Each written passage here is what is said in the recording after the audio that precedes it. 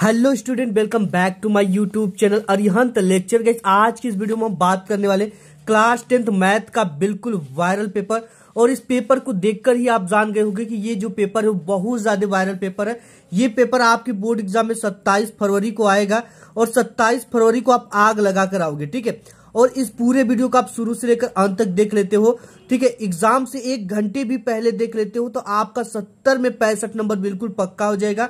इस बार हमें board exam में अंठानवे परसेंट लाकर स्टेट लेवल में अपना रैंक हासिल करना है, ठीक है? इसके लिए मैं कुछ भी नहीं करना, इस वीडियो को शुरू से लेकर पूरा अंत तक देख लेना है, ठीक है? ये है 2024 गणित का बिल्कुल वायरल पेपर जो कि 801 एचएफ का पेपर है, ठीक है? और ये पेपर बिल्कुल वायरल पेपर है, ठीक है? आपको इसमें समय तीन घंटे पंद्रह मिनट मिलेगा और पूर्णांक सत्तर का होगा। ये पूरी पेपर सॉल्यूशन के साथ है। ठीक है? ये कुछ निर्देश दे दिया गया है। सिंपली से आप पढ़ लेना। इसको पढ़ के मैं आपका टाइम वेस्ट नहीं करूँगा। यहाँ से सबसे पहले शुरू था खंड अ, जिसमें बहुविकल्पी टाइप के प्रश्न दे रखे। ठीक है?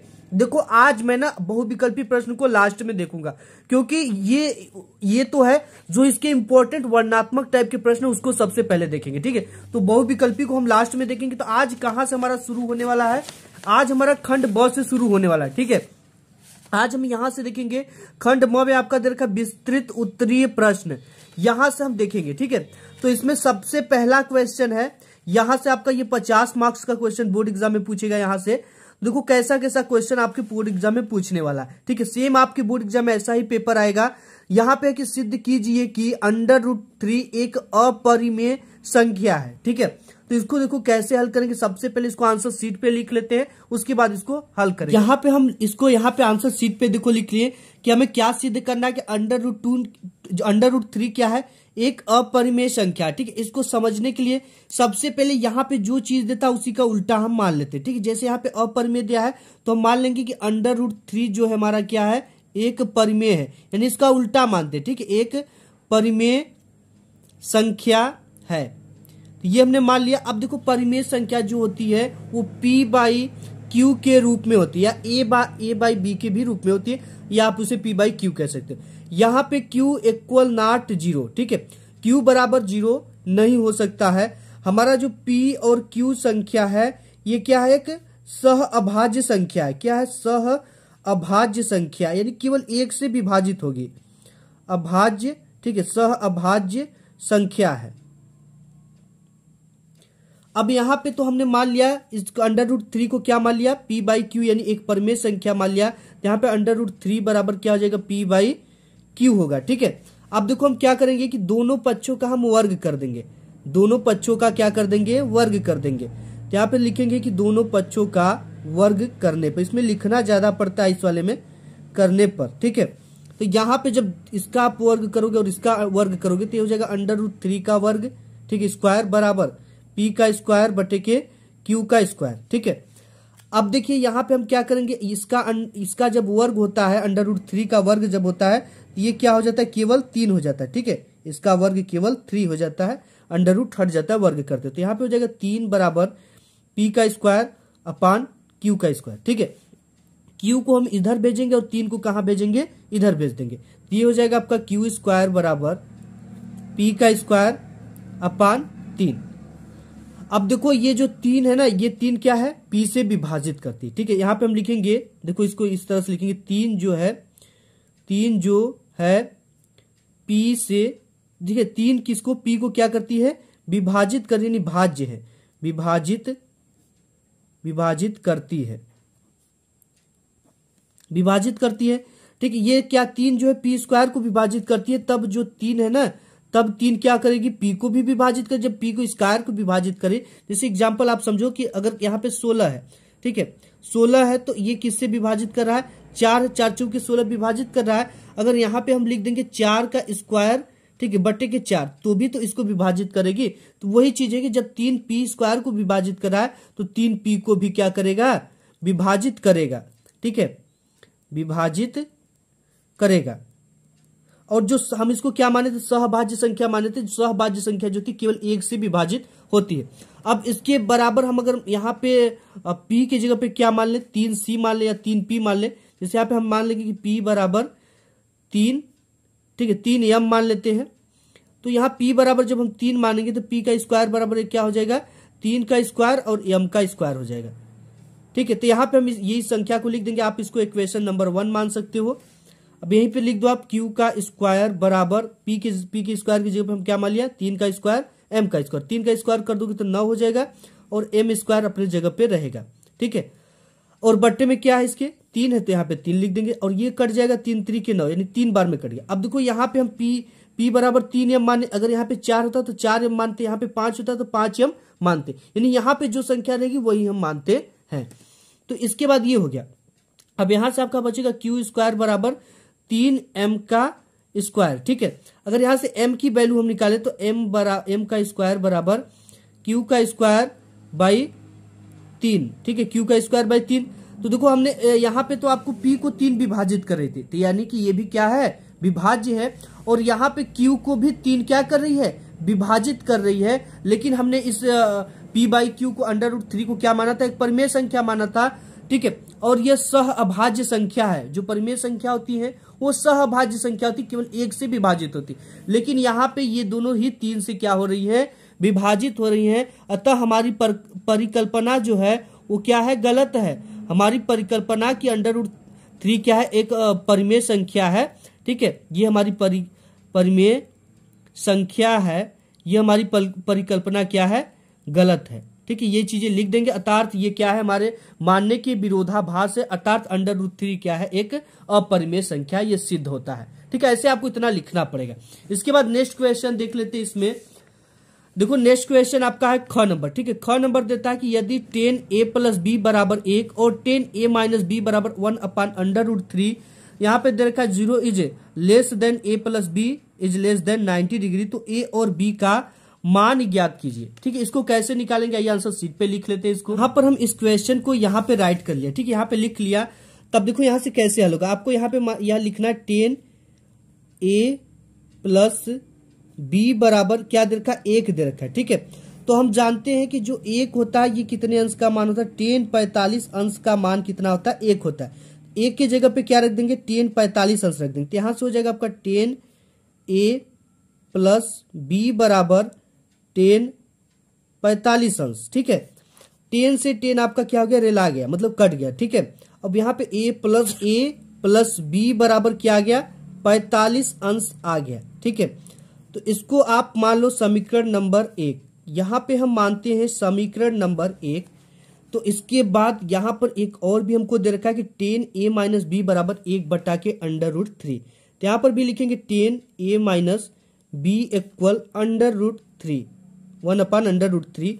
हम जानते हैं कि टेन तीस अंश बराबर होता है एक बटा के अंडर रूट थ्री। ये चीज़ें तो हम जानते हैं। तो यहाँ से हो जाएगा आपका टेन ए माइनस बी बराबर टेन तीस अंश। टेन से टेन गया। अब यहाँ पे हो जाएगा ए माइनस बी बराबर तीस अंश। ठीक है? ए माइनस बी बराबर तीस अंश। अगर हम यहाँ से ए की वैल्यू निकालें, ठीक है? कोई भी वैल्यू आप निकालो ए की वैल्यू निकाल रहे हैं। यहाँ से हो जाएगा ए माइनस बी बराबर तीस अंश। अगर ए की वैल्यू निकालेंगे तो ए बराबर ये माइनस का बी उस पर जाएगा तो प्लस का आ जाएगा। तीस अंश प्लस बी ठीक है? तो ए की वैल्यू क्या निकल गई? ए की वैल्यू निकल गई तीस अंश प्लस बी ठीक है? अब इस ए का जो मान है वो समीकरण नंबर एक में रख देंगे, ये समीकरण आपका दो बन जाएगा, ठीक है? तो यहाँ पे लिखेंगे कि समीकरण दो से ए का मान समीकरण एक में रखने पर। ठीक है? तो यहाँ पे a बराबर तीस अंश प्लस बी आया है और यहाँ पे समीकरण एक क्या है? A प्लस बी बराबर पैंतालीस अंश। तो हमारा समीकरण एक क्या है? A प्लस बी बराबर पैतालीस अंश। अब यहाँ पे हम a की वैल्यू क्या लिख रहे हैं समीकरण दो से? A बराबर तीस अंश प्लस बी तो यहाँ पे हम लिखेंगे कि a बराबर तीस अंश प्लस बी जो भी मान रखना आप साइड में लिख देना। ए की वैल्यू क्या हो जाएगी यहाँ पे? तीस अंश प्लस बी फिर प्लस का बी है तो बी बराबर आपका हो जाएगा पैतालीस अंश, ठीक है? अब यहाँ से हम क्या करेंगे? ये तो तीस अंश आपका है। तीस अंश को हम किस पार ले जाएँगे? इस पार। तो हो जाएगा आपका बी और बी को ऐड कर देंगे तो क्या हो जाएगा? टू बी और तीस अंश प्लस में उस पर गया तो माइनस में तो हो जाएगा पैतालीस अंश माइनस तीस अंश, ठीक है? तो यहाँ से हो जाएगा टू बी बराबर पैतालीस में से तीस जाएगा पंद्रह, ठीक है? पैतालीस में से सॉरी पैतालीस में से तीस गया तो ये हो जाएगा आपका पंद्रह अंश, ठीक है? अब यहाँ से बी बराबर आपका ये बी दो किसमें गुड़ा में इस पर गया तो भाग में तो पंद्रह बटे दो हो जाएगा तो ये आपकी बी की वैल्यू बी का मान गया, ठीक है? ये किसका मान गया? बी का। और यहाँ पे हम ए का मान क्या निकाले थे? अब इस बी वाले मान को ना हम उठाकर किसी भी समीकरण में रख देंगे, समीकरण दो में रख देंगे तो आपका यहाँ से वैल्यू निकल कर आ जाएगा। समीकरण आपका दो क्या है? समीकरण दो क्या है? ए बराबर तीस अंश प्लस बी ठीक है? तो बी का वैल्यू हमने कितना निकाला? पंद्रह बटे दो निकाला है। ए बराबर आपका हो जाएगा तीस अंश प्लस पंद्रह बटे के दो। इसको आप हल कर लोगे, ठीक है? तो आप इसको काट भी सकते हो। ये हो जाएगा आपका तीस अंश और ये हो जाएगा आपका सात दशमलव पाँच। इसको ऐड कर दोगे आप तो ये हो जाएगा आपका सैतीस पॉइंट फाइव। ये आपका ए का आंसर हो गया और बी का मान ये हो गया ए का मान ये हो गया। यही चीज़ हमसे पूछ रखा था कि यहाँ पे ए तथा बी का मान ज्ञात है। सिंपल था। थोड़ा मैं खींच दिया हूँ लंबा, लेकिन बहुत आसान है, ठीक है?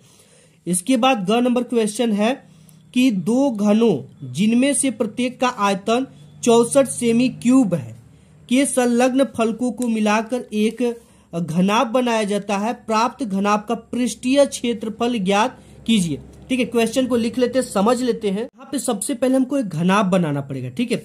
तो देखो, घनाभ जो होता है ना, वो कुछ इस तरह से होता है। यहाँ पे आप जानते हो कि घनाभ बनाना, ठीक है? थोड़ा सा बना लेना, ये इस तरह से होता है। और ये भी इधर इधर ही होगा, ठीक है? इधर इस तरह से होगा और ये आपका यहाँ से एक पाई होगा, इस तरह से मिलेगा। और यहाँ पर भी एक पाई होगा, यहाँ पे इस तरह से, ठीक है? ये थ्री टाइप का होता है। इसके बाद इस तरह से होता है, ठीक है? और यहाँ पे दो घनाभ की बात कर है। तो इसको भी इसी तरह से बना लेना। मान लो हम एक सिंपल इसी तरह से आपको बनाकर दिखा दे रहे हैं। ठीक है? सिंपल ये भी उसी तरह से बनेगा। तो ये आप मान लो दो ठो घनाभ है। ठीक है? और घनाब की जो लंबाई है, कोर की लंबाई, इसकी भी लंबाई ए हो और इसकी भी लंबाई ए है। और इसका जो एच है, यानी हाइट, ऊंचाई एच है, और इसकी जो बीथ है, यानी ये वाली बीथ की बात करें, यानी चौड़ाई की, ये बी है। ठीक है? तो यहाँ पे ऊंचाई तो सेम होगी, चाहे आप दोनों का लो, ऊंचाई तो दोनों का सेम है, और दोनों की चौड़ाई सेम है। लेकिन यहाँ पे अंतर किस चीज़ का है? अंतर आपको केवल यहाँ पे, अंतर केवल किस चीज़ का है? यहाँ पे लंबाई की अंतर है, ठीक है? इसका लंबाई ए है और इसका लंबाई टोटल लंबाई इसका टू ए हो जाएगा। तो यहाँ पे यही चीज़ हमको पता करना है। तो हम लिखेंगे यदि, यहाँ पे लिखेंगे यदि यदि घन के प्रत्येक प्रत्येक प्रत्येक कोर की लंबाई, ठीक है? कोर की लंबाई ए हो तब, ठीक है? ए सेमी हो तब, यहाँ पे घन का आयतन कितना हो जाएगा तब? घन का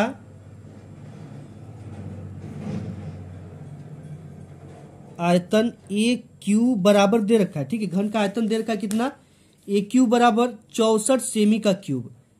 चौसठ सेमी क्यूब। अब देखो, इस चौसठ सेमी क्यूब को हम केवल क्यूब में बदल देंगे, ठीक है? यानी इसका निकाल देंगे ए का वैल्यू निकालेंगे हम तो यहाँ पे क्या आ जाएगा? चार हो जाएगा। कैसे होगा? यहाँ पे देखो, इसका घन निकाल दो। चौसठ का हम घनमूल निकाल देंगे। तो चौसठ को चार से काटो। ठीक है, चार कम चार और चार छह चौबीस। फिर चार को सोलह से काटो, चार चौके सोलह। फिर इसको काट दो एक बार में। तो ये घनाप बन गया। तीन का जोड़ा घनाभ कहलाता है। यानी ए क्यूब का घनमूल निकालेंगे तो ए बराबर क्या आ जाएगा? चार सेमी आ गया। ठीक है? अब यहाँ पे आपका एल यानी जो इसकी लंबाई है तो इन दोनों की लंबाई हमको केवल बढ़ रही है और ऊंचाई तो सेम है, ऊंचाई इसकी भी बराबर ऊंचाई इसकी भी, लेकिन लंबाई हमारा क्या हो रहा है, बढ़ रहा है। तो यहाँ पे हम लिखेंगे कि लंबाई एल बराबर टू ए है, ठीक है टू ए है ए की टू है और ए की वैल्यू क्या है, चार है, ठीक है तो चार रख देंगे गुरुत्व चार, ये क्या कोर की लंबाई है। चार दुना की, लंबाई जो है आपका चार दुना की आठ सेमी आ गया। ठीक है, आप समझ पा रहे होंगे, अगर नहीं समझ पा रहे तो कमेंट कर देना। देखो, यहाँ पे सिंपल है कि इसकी जो लंबाई है, जब दो एक ठो था तो लंबाई इतना था, लेकिन हमने दो ठो रखा घनाप तो इतना लंबाई हो गया। और इसकी ऊंचाई सेम है, ठीक है? तो हमने क्या किया कि जब यहाँ पे कोर की जो लंबाई है तो यहाँ पे दो हो गया तो दो का मल्टीप्लाई कर दिए तो इसकी कोर की लंबाई कितनी है? चार है, ठीक है? एक कोर की लंबाई चार और इसकी भी लंबाई चार है, ठीक है? ये होता है लंबाई गुड़ित चौड़ाई गुड़ित ऊंचाई का ये घन क्यूब निकलता है बैलूम निकलता है, ठीक है? तो यहाँ से हमने क्या किया? इसकी लंबाई में दो का मल्टीप्लाई कर दिया, क्योंकि लंबाई बढ़ रहा है यहाँ पे। यल बराबर आपका कितना आ गया? आठ सेमी ठीक है? और यहाँ पे देखो आपका क्या निकलेगा? इसका जब हम पृष्ठ का क्षेत्रफल निकालेंगे, ठीक है? घनाभ का पृष्ठीय क्षेत्रफल लिखेंगे यहाँ पे। घनाभ का पृष्ठीय क्षेत्रफल का जो फार्मूला होता है, वो होता है टू अंडर रूट, ठीक है? लंबाई, गुणित चौड़ाई प्लस चौड़ाई गुणित ऊंचाई, चौड़ाई गुणित ऊंचाई प्लस इसके बाद ऊंचाई गुणित लंबाई, ऊंचाई गुणित लंबाई, ठीक है? आप इसको यहाँ पे ऊंचाई जो है इसको एल से लिख सकते हो, चौड़ाई को बी से लिख सकते हो, ठीक है? इसको इस तरह से भी लिख सकते हो, जैसे यहाँ पे एल और यहाँ पे बी हो गया प्लस। चौड़ाई को किससे लिखेंगे? बी से, ऊंचाई को एच से, प्लस ऊंचाई को फिर एच से, लंबाई को एल से। ऐसे भी लिख सकते हैं, ठीक है? यहाँ सभी की वैल्यू रख देना टू और यहाँ पे एल की वैल्यू कितना है? आठ है। तो आठ रख देंगे। आठ गुणित बी की वैल्यू क्या है? यहाँ पे बी की वैल्यू कितना दिया है? ठीक है तो बी भी क्या होगा? चार होगा। जैसे लंबाई गुणित चौड़ाई गुणित ऊंचाई दिया है। हमने बताया कि ए बराबर आपका जब चार आ गया तो बी बराबर भी चार हो जाएगा। और यहाँ पे ये हो गया आपका लंबाई, हो गया चौड़ाई और ऊंचाई एच बराबर भी क्या हो जाएगा? चार सेमी। ठीक है, क्यूब निकल गया। अब इसके बाद यहाँ पे आठ और इसके जगह पे क्या है? चार है, प्लस बी की जगह पे क्या है? चार है। गुणित ऊंचाई कितना है? चार है। प्लस यहाँ पे एच की वैल्यू चार है, गुणित लंबाई कितना? आठ है। अब क्या करना है? इसका मल्टीप्लाई कर देना है।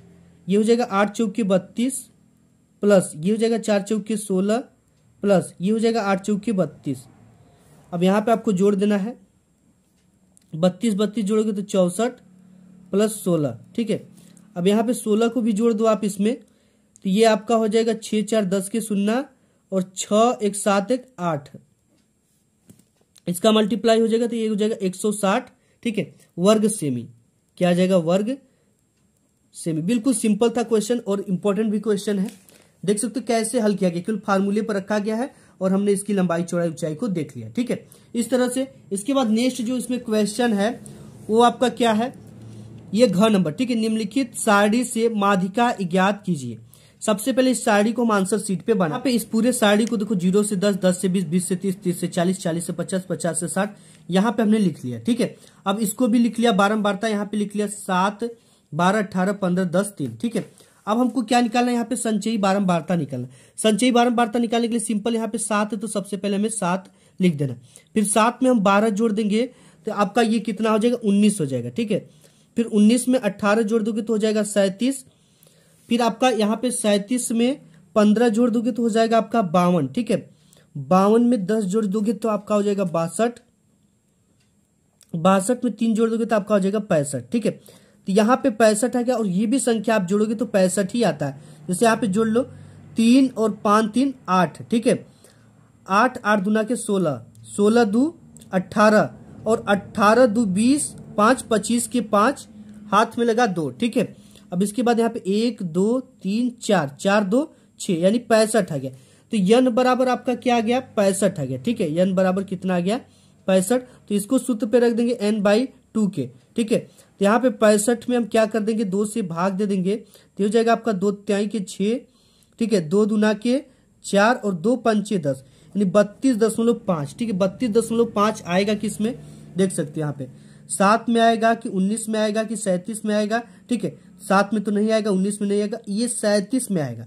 बत्तीस दशमलव जो पाँच है वो किसमें आएगा? सैतीस में। तो इसके जस्ट सामने वाली जो होती है संख्या, वो एफ़ की वैल्यू हो जाती। है और यहाँ पे इसकी जो वर्ग अंतराल है, ये एल हो जाएगा और तीस में से बीस घटाएँगे तो हमारा क्या निकल कर आ जाएगा? यच और जो हम संख्या जिसमें पड़ती है, जस्ट उसके ऊपर जो होती संख्या, वो सीएफ हो जाती है। यहाँ पे ये क्या हो गई? सीएफ हो गई, ठीक है? यानी कि संचयी बारंबारता हो गया अब देखो, सब चीज़ की वैल्यू हमें लिख लेना सबसे पहले। उसके बाद हमें फार्मूला पे रख के निकाल लेना, ठीक है? एन बाई टू की वैल्यू क्या है? यहाँ पे बत्तीस दशमलव पाँच है, ठीक है? अब इसके बाद आपका ये यप की वैल्यू क्या निकल गई? अट्ठारह। तो यहाँ पे लिख देंगे एफ़ बराबर स्मॉल एफ़ बराबर, ठीक है? ये स्मॉल एफ़ बराबर अट्ठारह। और वर्ग अंतराल में किसमें पड़ा है ये? वर्ग अंतराल बीस से तीस में पड़ा तो लिख देंगे बीस से तीस। अब यहाँ से ये आपकी वैल्यू हो गई यल की यल बराबर बीस। अब हमें एच की वैल्यू फाइंड करनी तो एच बराबर का क्या हो जाएगा? तीस माइनस बीस। यानी तीस माइनस बीस, यानी हायर लिमिट में से लोअर लिमिट को घटा देंगे तो एच बराबर आपका क्या निकल जी आ जाएगा? दस। ठीक है? तो सब कुछ हमारे पास आ गया। अब इसका फार्मूला क्या होता है? देखो यहाँ पे माधिका, लिख देंगे माधिका को एम से दिखाते हैं तो माधिका एम बराबर L plus N by two minus C, F upon, F गुणित एच। ठीक है? यहाँ पे सब कुछ की वैल्यू में पता एल की वैल्यू कितना है? एल की वैल्यू बीस है। तो यहाँ पे पुट कर देंगे बीस प्लस एन बाई टू की वैल्यू क्या है? पैंसठ बत्तीस दो रख दो या बत्तीस दशमलव पाँच रख दो। ठीक है? बात वही है। तो यहाँ पे हम रख देते बत्तीस दशमलव पाँच। सी एफ़ की वैल्यू क्या है? सी एफ़ की वैल्यू यहाँ पे उन्नीस है। ठीक है? यहाँ पे ऊपर देख सकते हो। सी एफ़ की वैल्यू उन्नीस है। सभी को आप लिख देना माइनस का सॉरी, यहाँ पे है। माइनस का उन्नीस। बट्टे में एफ़ की वैल्यू क्या है? एफ़ की वैल्यू अट्ठारह है। यहाँ पे पुट कर देंगे अट्ठारह गुड़ित एच की वैल्यू क्या? है दस है। तो यहाँ पे रख देंगे दस। ठीक है? अब यहाँ पे हो जाएगा आपका बीस प्लस। यहाँ से बत्तीस दशमलव पाँच में से उन्नीस को घटा देंगे। ठीक है? यहाँ पे घटा लो। बत्तीस दशमलव पाँच में से उन्नीस घटा लेंगे। तो यहाँ से पाँच में से ज़ीरो गया पाँच बचा पॉइंट। ठीक है? इसके बाद यहाँ पे क्या? बारह। बारह में से नौ गया तीन बचा। यहाँ पे से तीन में से एक गया, क्या बचा यहाँ पे? तीन में से एक गया, एक बचा, ठीक है? सॉरी यहाँ पे दो में से एक जाएगा, एक बचे, क्योंकि इसको हासिल दिया बारह में से नौ गया तीन, और यहाँ पे क्या बचा? दो दो में से एक गया, एक बचे, यानी तेरह दशमलव पाँच यहाँ पे आपका आ जाएगा। तेरह दशमलव पाँच, ठीक है? गुड़ित्ते में दस है तो दस बीस में मल्टीप्लाई कर दो, बट्टे में अट्ठारह है। तो ये आपका हो जाएगा बीस प्लस अब इसका मल्टीप्लाई इसमें कर दो तो ये हो जाएगा एक सौ पैंतीस ठीक है? दस का मल्टीप्लाई इसमें करेंगे और बट्टे में अट्ठारह है। अट्ठारह का भाग आप इसमें दे दो तो अट्ठारह से एक सौ पैंतीस लगभग सात बार में जाएगा तो अट्ठारह साते होता है कितना? एक सौ छब्बीस, ठीक है, सात बार में गया, फिर पॉइंट इसमें से जो बचेगा एक सौ छब्बीस के बाद पॉइंट लगा कर लिखाएगा, ठीक है। यानी ये जो आएगा, अगर आप बीस, ठीक है, बीस प्लस सात को जोड़ दोगे तो लगभग आपका सत्ताईस आंसर आएगा, ठीक है। ये कुछ पॉइंट में भी जाएगा तो आप उसको एड कर लेना। तो ये आपका पूरा आंसर निकलेगा। इसी तरह से आपका मादिका बोर्ड एग्ज़ाम में निकाल लेना, ठीक है? ये कौन सी मादिका है? ये वर्गीकृत मादिका है। अवर्गित अवर्गीकृत मादिका होती, केवल दस, बीस, तीस इस तरह से देती। इस चीज़ का ध्यान देना, ठीक है? इसके बाद अंगन नंबर क्वेश्चन है यहाँ पे कि बिंदुओं एक, कामा माइनस पाँच और माइनस चार, कामा पाँच को मिलाने वाले रेखाखंड को एक्स अक्ष द्वारा विभाजित करने वाले बिंदु के निर्देशांक ज्ञात कीजिए। अंगन नंबर क्वेश्चन को हम आंसर सीट पे लिखते हैं, ठीक है? सबसे पहले तो आप इसको मान लो, ये आपका वाई अक्ष है। ये कौन सा अक्ष है? वाई अक्ष। और यहाँ पे एक यक्ष अक्ष है, ठीक है? और इसी से बोल रखा है कि दो बिंदु है। बिंदु एक है, मान लेते बिंदु ए है और ये बिंदु बी है।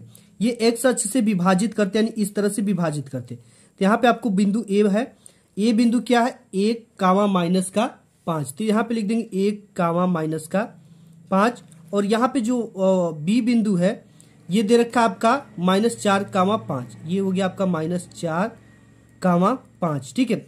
और ये एच एच के निर्देशांक पे है तो इसका जो निर्देशांक हो जाएगा यहाँ पे, ये एक्स कामा ज़ीरो हो जाएगा, ठीक है? यहाँ पे ये जो वैल्यू हो गया, ये एक्स वन हो गया और ये वाई वन हो गया, ये आपका एक्स टू हो गया और ये वाई टू हो गया, ठीक है? और ये एक्स और ये हो गया वाई। इतना हो गया, ठीक है?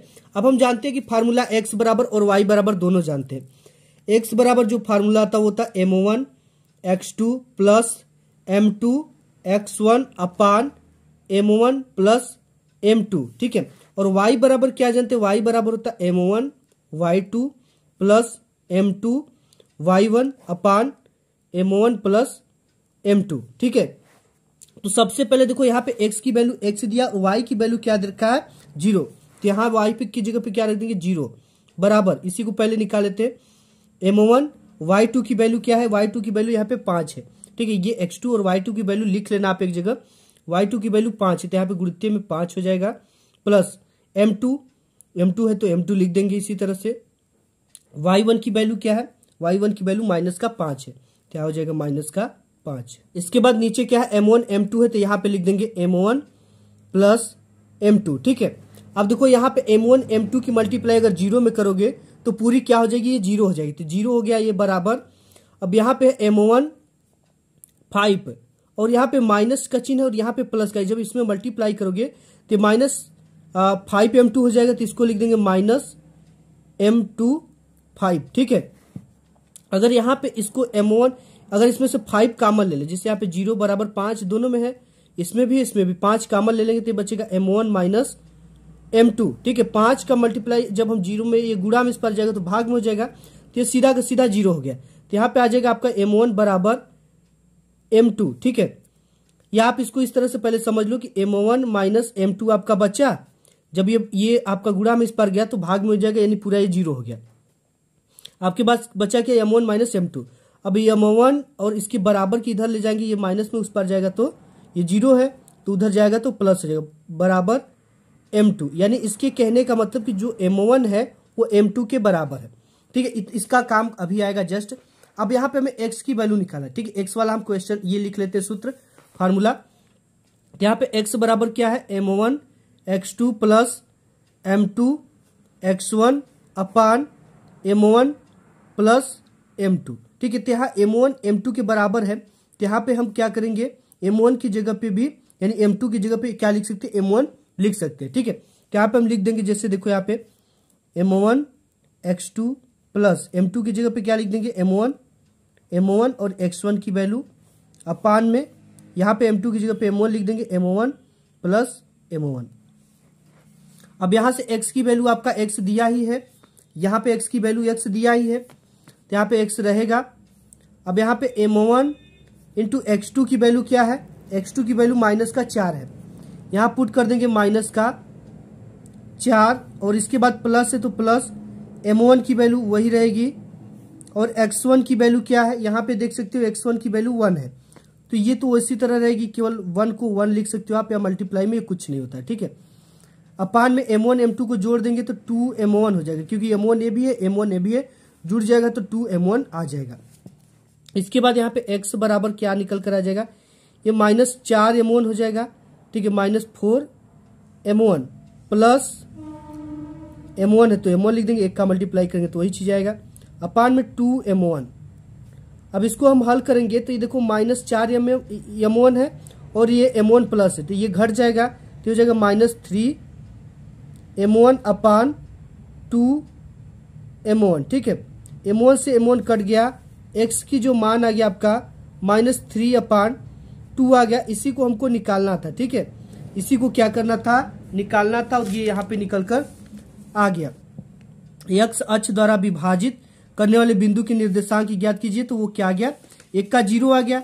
एक का क्या गया? वाई का तो ज़ीरो दिया ही है। और यक्स का क्या गया? Minus three upon two. तो आप लिख देंगे minus three upon two comma zero x अक्ष का क्या है? निर्देशांक है। इसके बाद नेक्स्ट क्वेश्चन यहाँ पे देखते हैं। यहाँ पे च नंबर, ठीक है? च नंबर की बिंदु ए के निर्देशांक की ज्ञात कीजिए। कीजिए जहाँ ए बी एक वृत्त का व्यास, यानी कि आपको एक वृत्त बनाना इस तरह से। और यहाँ पे ए बी क्या है? वृत्त का व्यास है, ठीक है? जिसका केंद्र जिसका केंद्र two two comma minus three, यानी इसका एक केंद्र यहाँ पे ओ है, और इसकी value two comma minus three दे रखा है। तथा बी के निर्देशांक भी दे रखा है जो बी है ना यहाँ पे, एक कामा चार दे रखा है।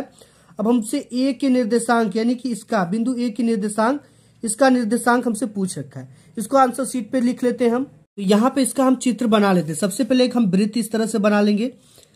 और इसका ब्यास जो है ए बी है, ठीक है?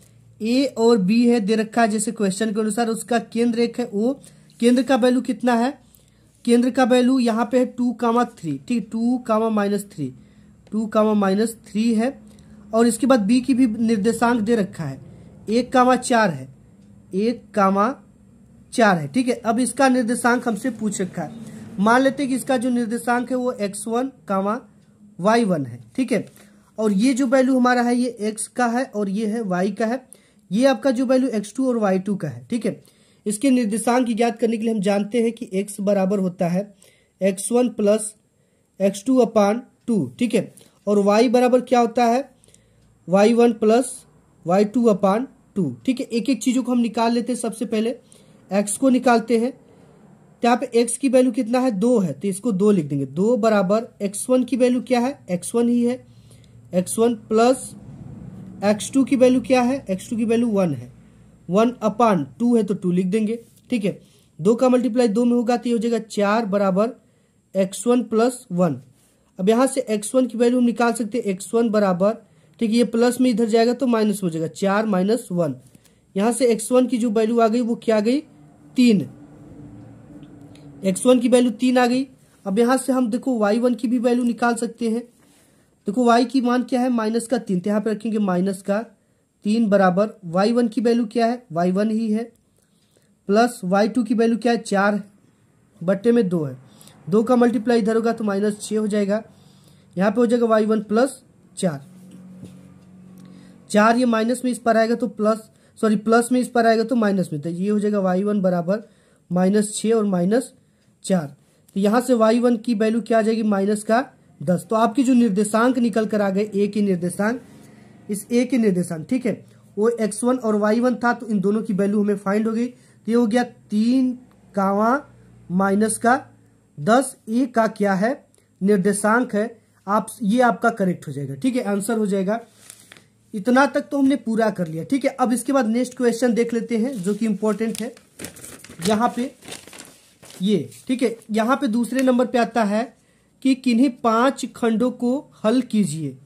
तो यहाँ पे पहला है कि के का मान ज्ञात कीजिए, जिसके लिए समीकरण समीकरण two x plus k y equal एक और थ्री एक्स माइनस पाँच वाई बराबर सात का एक अद्वितीय हल है। ठीक है, ये अद्वितीय हल कैसे निकालते हैं, इसको देख लेते हैं। यहाँ पे सबसे पहले इस क्वेश्चन को हमने यहाँ पे लिख लिया आंसर सीट पे। अब देखो, इसकी हम कंपेयर कर देंगे, ठीक है? इसका जो कंपेयर होगा वो a one x plus b one y plus c one से करने पर, ठीक है? तो यहाँ पे ए वन की वैल्यू क्या निकल कर आई? ए वन की जगह पे दो लिखा हुआ है बी वन की जगह पे के लिखा हुआ है के और सी वन की जगह पे वन लिखा हुआ है तो यहाँ पे लिख देंगे सी वन बराबर वन इसके बाद इसकी भी कंपेयर हम किस सूत्र से कर देंगे? A two x plus b two y plus c two से, ठीक है? तो इसका जब कंपेयर आप करोगे तो ए टू की जगह पे क्या निकल कर आ रहा है? तीन. ए टू बराबर तीन. एंड यहाँ पे आपका बी टू बराबर क्या निकल कर आएगा? माइनस का पाँच. ठीक है, माइनस का पाँच. एंड सी टू बराबर क्या निकल कर आएगा? सात, ठीक है? तो हम जानते हैं कि एक अद्वितीय हल के लिए a one upon a two equal b one upon b two equal not c one upon c two ठीक है? इस, ये इसका अद्वितीय हल के लिए हम फार्मूला ये लगाते हैं। ए वन की वैल्यू क्या है? दो है तो दो रख दो आप। अपान में ए टू की वैल्यू क्या है? थ्री है तो थ्री रख दीजिए। फिर बराबर लगा दीजिए। बी वन की वैल्यू क्या है? के है। के लगा दिया हमने। इसके बाद बी टू की वैल्यू माइनस का पाँच है तो माइनस का पाँच लगा दो इक्वल नॉट सी वन की वैल्यू क्या है? एक है तो एक लिख दो। और यहाँ पे सी टू की वैल्यू क्या है? सेवन है तो सेवन लिख दो, ठीक है? अब आपको इसमें से किसी दो को लेकर, या तो आप चाहो तो इसको इन दोनों को लेकर हल कर सकते हो, या चाहो तो इसको और इसको लेकर हल कर दोगे, मान के का सेम आएगा, ठीक है? इसको इसको भी हल कर हल कर सकते लेकर इसको इसको भी लेकर हल कर सकते हैं। इसको इसको लेकर हल करते, ये होगा दो बटे के तीन इक्वल नॉट के पान माइनस का पाँच। माइनस का पाँच जब उसमें गुड़ा करेंगे तो के बराबर क्या आ जाएगा? माइनस पाँच इसमें गुड़ा कर दिया तो माइनस का दस और बट्टे में क्या है? तीन। तो ये आपका क्या आ जाएगा? के का मान आ जाएगा। ठीक है? क्या सिंपली के अपने जगह पे पाँच कहा गया? ये भाग में इस पर गया तो बराबर के गुड़ा में गया तो पाँच दुना की दस, ये माइनस का दस बटे तीन, यही आपका क्या हो जाएगा? के का मान हो जाएगा। ठीक है? माइनस दस बटे के तीन, यही हो जाएगा आंसर नेक्स्ट देख लेते हैं क्वेश्चन क्या है? अब देखो यहाँ पे पहला कर लिया, इसके बाद ख नंबर दे रखा है कि तीन दशमलव पाँच सेमी त्रिज्या के एक अर्ध गोले पर एक शंकु के रूप में खिलौना है, ठीक है? खिलौने की संपूर्ण ऊंचाई, यानी पूरी ऊंचाई जो बताया गया है, पंद्रह दशमलव पाँच सेमी है। खिलौने का संपूर्ण पृष्ठीय क्षेत्रफल ज्ञात कीजिए, चार नंबर का क्वेश्चन है, ठीक है? तो इसको लिख लेते हैं। सवाल को समझने के लिए सवाल की लैंग्वेज को समझना पड़ता है। ठीक है ये बोल रखा है कि तीन दशमलव पाँच सेमी त्रिज्या के अर्ध गोले पर एक शंकु के रूप में खिलौना रखा गया। यानी कि आप यहाँ पे क्या बना देंगे इस तरह सॉरी ये इस तरह का बनेगा थोड़ा सा। ठीक है, यहाँ पे क्या है? अर्ध गोला है, ठीक है? ये क्या है? एक अर्ध गोला है और इस पे एक शंकु के आकार का खिलौना रख दिया गया। ठीक है, इस तरह से आप बना लेना, थोड़ा सा टेढ़ा हो गया। शंकु के रूप में खिलौना रखा गया है। और यहाँ पे बताया गया कि ये जो अर्धवृत्त है, ठीक है, ये जो अर्ध अर्धगोला इसकी त्रिज्या थ्री पॉइंट फाइव सेमी इसका केंद्र ये है और इसकी त्रिज्या कितनी थ्री पॉइंट फाइव सेमी है। तो देखो, जब इसकी त्रिज्या इधर भी थ्री पॉइंट फाइव सेमी होगी, इसकी त्रिज्या जब इधर ये ऊपर थ्री पॉइंट सेमी है तो इसके नीचे भी क्या होगा? थ्री पॉइंट फाइव सेमी ही होगा। और इसका जो संपूर्ण ऊंचाई दे रखा है, यानी यहाँ से लेकर आपका यहाँ तक की जो संपूर्ण ऊंचाई है खिलौने की, वो पंद्रह दशमलव पाँच सेमी है। ठीक है? पंद्रह दशमलव पाँच सेमी दिया है। अब इसके बाद देखो, यहाँ पे इसकी जो त्रिज्या है, वो त्रिज्या इसकी ऊंचाई के बराबर होता है अर्धगोले का, ठीक है? तो अगर हम इस पंद्रह दशमलव पाँच में से ये इसकी ऊंचाई कितनी हो गई? ये अर्ध गोले की तीन दशमलव पाँच, ठीक है? यहाँ से हम लिख देंगे तीन दशमलव पाँच। जब हम तीन दशमलव पाँच को निकाल देंगे पंद्रह दशमलव पाँच में से तो ये क्या बचेगा? ठीक है, आप निकाल कर देख लो यहाँ पे पंद्रह दशमलव पाँच में से तीन दशमलव पाँच को निकालो तो पाँच में से पाँच गया ज़ीरो पॉइंट। यहाँ पे पंद्रह में से तीन गया, बारह। तो यहाँ पे केवल शंकु की ऊंचाई की बात करें तो ये कितना आ गया? बारह सेमी आ गया। कितना आ गया? बारह सेमी। समझ गए होगे? देखो, इस अर्ध जो गोला है, इसका त्रिज्या तीन दशमलव पाँच है। ठीक है तो आधा होने के कारण इसकी ऊंचाई भी त्रिज्या के बराबर होगी। ठीक है तो इसकी जो संपूर्ण ऊंचाई थी खिलौने की, पंद्रह दशमलव पाँच सेमी थी, जिसमें से हम इस तीन दशमलव पाँच सेमी को यहाँ तक निकाल दिए। जब यहाँ तक हम निकालेंगे, ये चीज़ें निकल जाएँगी तो हमको किसका ऊंचाई पता चल जाएगा? इस शंकु का ऊंचाई पता चल जाएगा। तो ये शंकु की ऊंचाई क्या निकल कर आ गई? बारह सेमी आ गई ठीक है? जब शंकु की ऊंचाई हमें पता होगी तो इसकी हम तिरक ऊंचाई एल निकाल सकते हैं। तिरक ऊंचाई एल बराबर आर का स्क्वायर प्लस यहाँ पे एल का स्क्वायर होता है, ठीक है? सॉरी आर का स्क्वायर एच का स्क्वायर प्लस एच का स्क्वायर ठीक है? तो यहाँ पे एल बराबर अंडर रूट आर का स्क्वायर मतलब इसकी त्रिज्या कितनी? तीन दशमलव पाँच है। तो इसको तीन दशमलव पाँच रख दो। प्लस में। एच कितना है? बारह है तो बारह का स्क्वायर कर देंगे। ठीक है, ये हो गया। अब देखो, जब इसको हम हल करेंगे तो क्या आएगा? एल बराबर आपका हो जाएगा। ये इसको हम हल करके आप इसका मल्टीप्लाई करोगे। ठीक है तो ये बारह दशमलव दो पाँच के लगभग आएगा। बारह दशमलव दो पाँच प्लस इसका मल्टी वर्ग करोगे तो एक सौ चौवालीस आएगा बारह बारह हम अब इसको आप ऐड कर देंगे सिंपली। ठीक है ऐड करोगे इसको तो ये हो जाएगा आपका पाँच और चार नौ, ठीक है? सॉरी इसमें पहले ऐड नहीं, इसमें होगा, ठीक है? चार और दो छह हो जाएगा, ठीक है? और पच्चीस को तो पॉइंट पच्चीस में लिख दो, और इन संख्या वालों को संख्या में जोड़ दो। इसमें एक सौ चौवालीस में बारह जोड़ देंगे तो चार दो आपका छह हो जाएगा, फिर चार एक पाँच हो जाएगा, एक सौ छप्पन आपका आ जाएगा, ठीक है? एल बराबर। जब यल को आप वर्ग कर दोगे ना तो ये लगभग बारह दशमलव पाँच के लगभग आता है। कितना आता है? बारह दशमलव पाँच के आप वर्ग करके देख लेना इसका। अब हम क्या निकालना है? संपूर्ण वक्र पृष्ठ का क्षेत्रफल, ठीक है? संपूर्ण वक्र पृष्ठ का क्षेत्रफल निकालने के लिए हम क्या करेंगे? अर्धगोले का पृष्ठ निकालेंगे, यानी अर्धगोले का वक्र पृष्ठ निकालेंगे। अर्ध गोले का पृष्ठ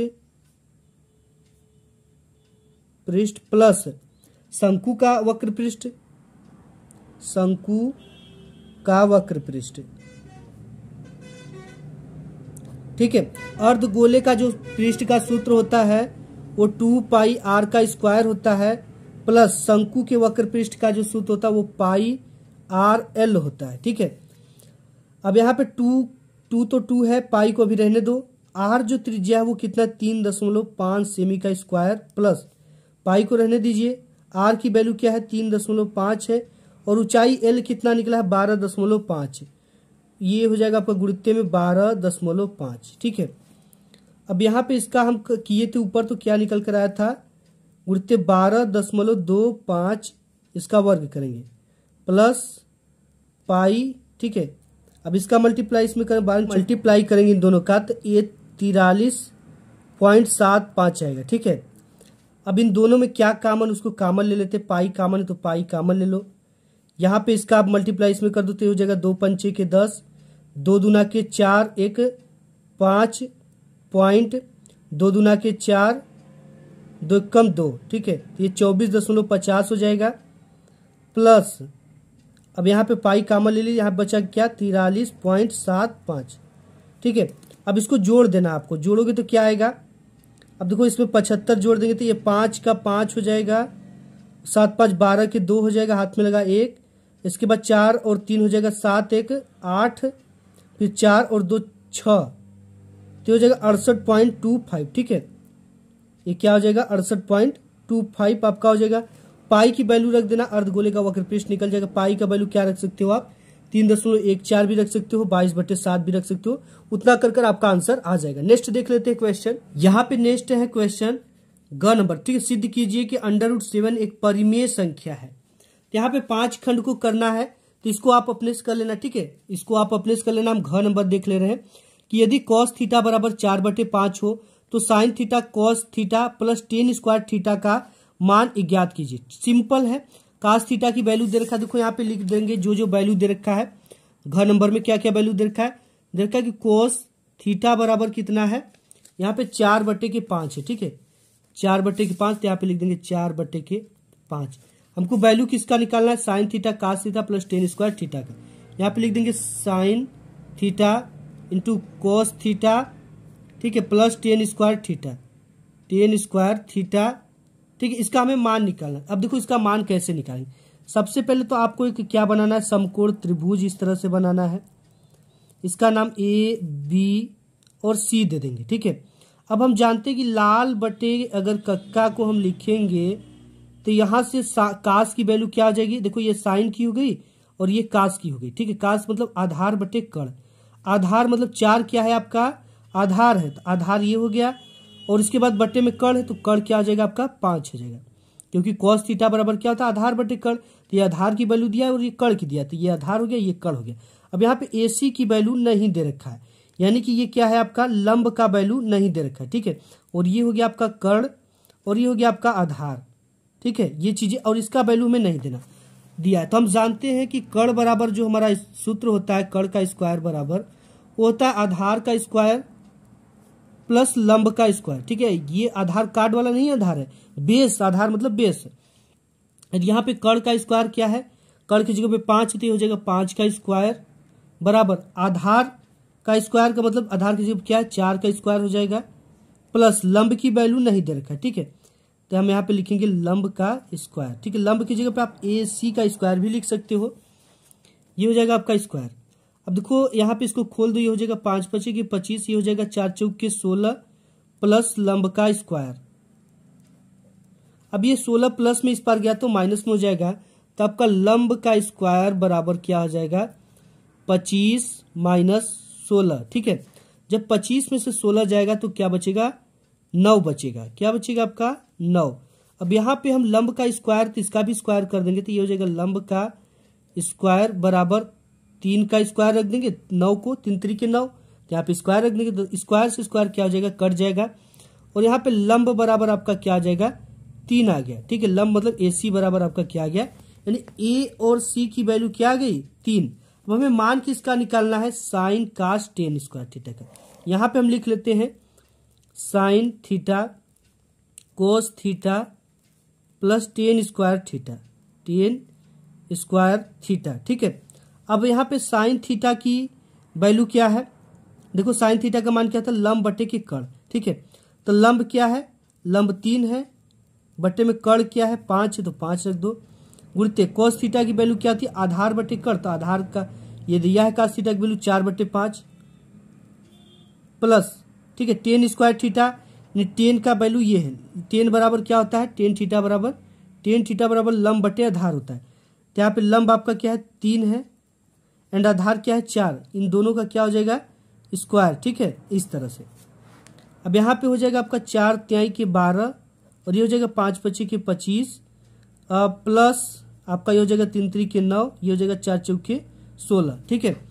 अब यहाँ पे आप इसका इधर उधर मल्टीप्लाई करके भी कर सकते हो या लौसा दोनों में से ले सकते हो। जो आपको सुविधा पड़े वो कर लो, ठीक है? जैसे यहाँ पे सोलह का मल्टीप्लाई करोगे तो सो, सोलह दुना की बत्तीस और सोलह कम सोलह और सोलह तीन उन्नीस, ठीक है? एक सौ बानवे प्लस यहाँ इसका पढ़ दो, यहाँ पाँच नवा पैंतालीस के पाँच, ठीक है?